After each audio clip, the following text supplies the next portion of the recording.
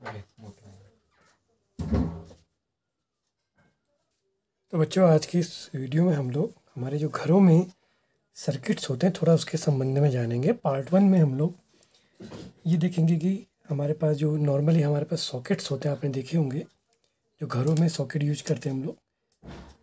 Switch board में लगे होते हैं, उसमें आपने गौर किया होगा नॉर्मली ट्रिपल पिन वाले होते हैं कुछ इस तरह से। ठीक है ना? ये इस तरह के ट्रिपल पिन सॉकेट्स होते हैं। और आप इसमें देख रहे हैं एक बड़ा, दो छोटे हैं, एक बड़ा है। तो पहले जानते हैं कि एक्चुअली में फिटिंग होती क्या है। तो उसको समझने के लिए आप ऐसे समझो। तो तीन अलग अलग ढंग से इसको समझते हैं हम लोग कि घरों की फिटिंग में जो वायर आते हैं, वो वायरिंग कैसे होती है। तो पहले तो ये पता होना चाहिए कि घरों में आती क्या है। घरों में एसी आती है ना। ऑल्टरनेटिंग करंट कहते हैं इसको। ये इजीली सप्लाई हो जाती है, इसको सप्लाई करना ईजी होता है। हीट लॉस इसमें बहुत कम होता है। तो इस कारण से एसी को ही सप्लाई किया जाता है। बाकी तो आप एसी की वीडियो में देख के और जानकारी इसकी ले लेंगे, जो मैंने बनाए हैं। तो फ़िलहाल अब हम देखते हैं होता क्या है। तो घरों में जो हमारे सपोज़ कीजिए कि ये आपका कोई जो मेन पोल है, ठीक है ना? यहाँ से वायरिंग आई। तो ये वायरिंग में ऐसे समझना, इसको अलग अलग कलर से बना लेते हैं। तो ये इस तरह के वायर होते हैं, एक जैसे रेड वायर हो गया, ठीक है ना? और एक मैंने बनाया है, ये ब्लैक वायर तो ये दो वायर इस तरह से घरों में आते हैं। तो अब समझना इसको क्या होगा, जैसे मान लो, थोड़ी देर के लिए आपके घर में हमने कोई स्विच बोर्ड ही ले लिया, ठीक है ना? स्विच बोर्ड की ही हम बात करते हैं। तो स्विच बोर्ड में अभी एक देखा होगा आपने कि यहाँ पे बड़ा सा होल होता है। फिर यहाँ पे ऐसे ऐसे अलग से छोटे छोटे होल होते हैं। तो नॉर्मली ऐसे ट्रिपल पिन की बात होती है। तो अब इसको समझते हैं, ये होता क्या है? देखो, एक तो ये आपका रेड वाला वायर अभी मैं बता रहा हूँ इसको रेड से क्यों बना रहे हैं। और एक ये ब्लैक वायर आया, ठीक है? अब क्या हुआ कि सपोज़ कीजिए कि ये वाला वायर आपका यहाँ कनेक्ट हो गया और ये ब्लैक वाला इसमें चला गया तो ये जो तीन पिन होते हैं, इन तीन पिन की मीनिंग क्या होती है? एक तो इसमें होता है लाइव वायर को, इसको कहते हैं रेड वाले को। लाइव वायर या इसको हॉट वायर भी कहा जाता है। और इसको कहते हैं न्यूट्रल या ग्राउंड वायर इसको क्या कहते हैं? न्यूट्रल या ग्राउंड वायर फिर एक तीसरा और होता है इसमें। ठीक है? तो अभी दो वायर की बात है अब घरों में जो हमारे पास लाइट इलेक्ट्रिसिटी आती है तो नॉर्मली लाइव वायर की मीनिंग आपको ये बताई जाती है कि इस वायर से करंट आती है और इस वाले से सर्किट पूरा करते यहाँ को चले जाती है। अब लेकिन हमारे घरों में जो एसी आती है, उसका क्या है? वो एक बार इस डायरेक्शन में आती है, ठीक? और अगली बार वो इस डायरेक्शन में, यानी कि एक देखा जाए तो एक बार ये करंट को लाने का काम कर रहा है, एक बार ले जाने का काम कर रहा है। तो मीनिंग क्या है इस चीज़ की? इसकी कंसेप्ट को ज़रा समझते हैं। इसकी कंसेप्ट कुछ इस तरह की है कि जो ग्राउंडेड वायर है, ठीक? इस ग्राउंडेड वायर का मतलब क्या होता है कि ये ऑलवेज होता है ज़ीरो वोल्टेज पर। अर्थ के वोल्टेज पे इसको रखा जाता है तो लगभग लगभग ये मान लिया जाता है कि ये ज़ीरो वोल्टेज पर है, ठीक? और ये जो लाइव वायर है, ये पॉजिटिव पर होता है तो एक बार पॉजिटिव पे जाएगा, एक बार नेगेटिव में। ऐसे समझो आप। एक बार ये प्लस टू ट्वेंटी वोल्ट पर गया, एक बार माइनस टू ट्वेंटी वोल्ट पर गया। तो मीनिंग क्या है?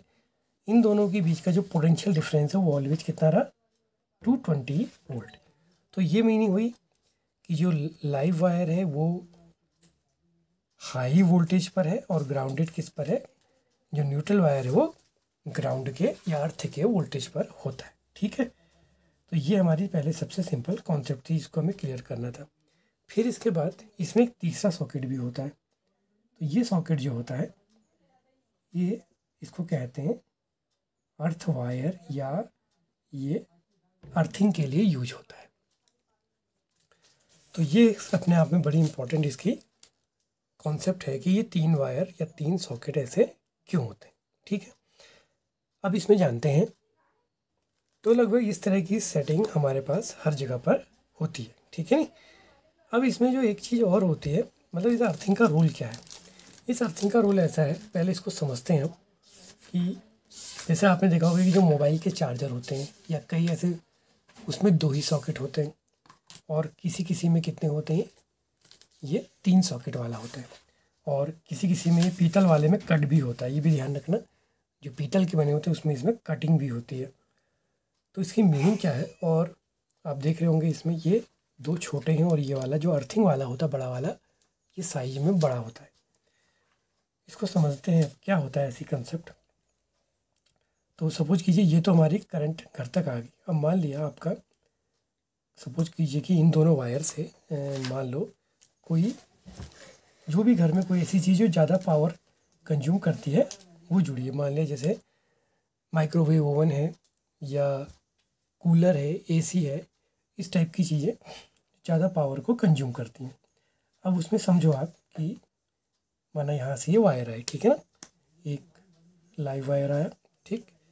और इसी तरह से एक ग्राउंडेड भी आया, एक इसमें अर्थिंग भी होगी, ठीक है ना? तो अर्थिंग का वायर एक अपना अलग होता है। तो ये हमारा, जैसे सपोज़ कीजिए थ्री पिन हो गया, ठीक? लाइव वायर यहाँ जुड़ गया। और ये इस पर आ गया तो ये काम करेगा। अब सपोज़ कीजिए कि कभी किसी कारण से हाई वोल्टेज आ गई तो करंट भी क्या होगी? हाई होगी। या किसका एक कारण और भी समझो कि अगर किसी वजह से मान लो कि इस वायर से करंट जो है लीकेज होने लगी, माना इसमें भी जाने लग गई तो क्या होगा कि नॉर्मली अगर आप इसको टच करोगे तो आपको झटका लग सकता है, ठीक? तो यहाँ पर क्या होता है, जो तीसरा होता है अर्थिंग वाला, ये क्या करता है कि जो इस तरह की कभी हाई वोल्टेज या हाई करंट जब आती है या कहीं लीकेज होता है तो उस लीकेज करंट को ये ग्राउंड में ले जाता है। ग्राउंड में ले जाने से वो आपको शॉक फिर नहीं लगेगा। प्रॉपर ग्राउंडिंग होनी ज़रूरी होती है। तो सेम चीज़ यहाँ भी है। कभी मेंस से जो आए, हर सॉकेट में ऐसे ट्रिपल वाले होते हैं। अब बात आती है कि ये बड़े क्यों होते हैं? ये दो पार्ट इसके देखो, आप बड़े नज़र आ रहे हैं।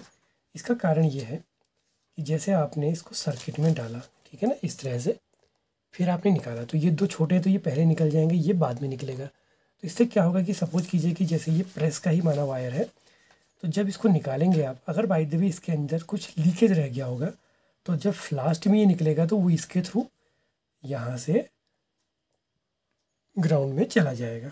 इसलिए ये थोड़ा सा बड़ा बनाया जाता है। और सेम प्रोसेस जब आप डालेंगे तो वही चीज़ है कि जब डालते समय भी अगर कुछ इसके अंदर लीकेज रहा होगा पहले से तो वो भी सेम भी, वो चार्ज इसके थ्रू अर्थ में चला जाएगा। तो आपको शॉक लगने का डर इसमें नहीं होगा।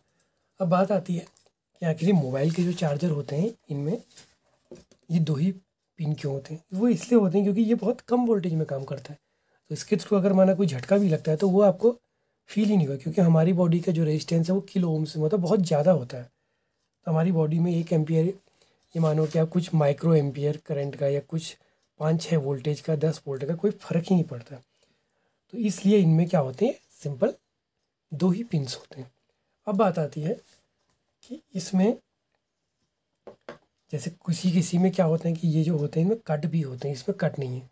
तो स्टील वाले या एल्यूमिनियम के जो होते हैं, उनमें कट नहीं होते हैं, लेकिन जो पीतल के बने होते हैं, उनमें कट होता है। कई बार आपने ये भी देखा होगा कि जो इसी कलर के जो दिखते हैं, उनमें भी कट होता है।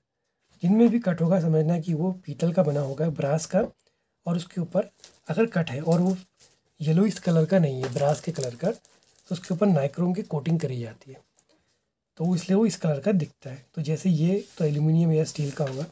इसमें कट इसलिए नहीं होता, क्योंकि पीतल में क्या होता है, पीतल बहुत अच्छा कंडक्टर होता है और मीनिंग चीज़ क्या होती है उसकी, उसका मेल्टिंग पॉइंट लो होता है। तो कारण क्या होता है कि अगर जब इसमें करंट आएगी, ठीक है ना? तो करंट आने से क्या होता है, कहीं ना कहीं ये वायर गर्म होते हैं। तो गर्म होने से, अब चूँकि पीतल का मेल्टिंग पॉइंट कम है तो ये डर होता है कि अगर ये गर्म होगा तो गर्म होकर फैल जाएगा और ये हो सकता है सॉकेट में ही चिपका रह जाए। तो उसके चिपकने से क्या संभावना है कि वहाँ पर आग भी लग सकती है। तो इसीलिए पीतल के अक्सर कटवाले होते हैं और बाकी एल्यूमिनियम और बाकी चीज़ों के वो कट वाले नहीं होते।